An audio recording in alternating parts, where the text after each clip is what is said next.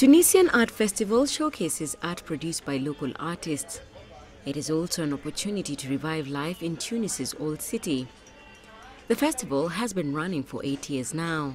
Lorsque Dream City a été créé en 2007, When Dream City started in 2007, the problem was that public spaces were seized.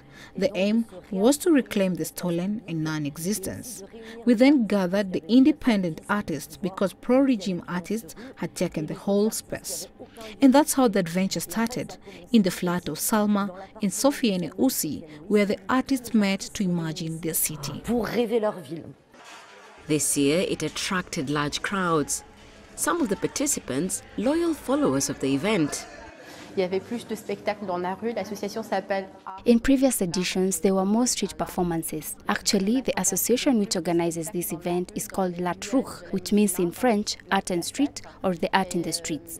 So I was expecting more shows in the streets and squares inside the Medina, but most of the exhibitions are inside buildings and Et là, je museums. trouve que tout est euh, dans des palais et dans des musées. One of the highlights of the fair was an exhibition titled Usham, Arabic for tattoo, which included pictures taken by a Tunisian photographer documenting people with tattoos.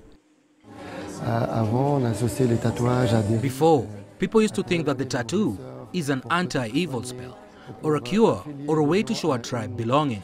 However, today, tattoos have become a statement for people. We notice that tattoos, in a way, are linked to the prison world and that they are done in unhealthy conditions. Approximately 200 people, artists, curators, and volunteers participated in organizing the festival that included 22 events, film projections, photo exhibitions, and outdoor performances. The lineup included artists from Tunisia, Syria, Egypt, South Africa, and France. The festival ended on Sunday. Susan Mungeli, CCTV.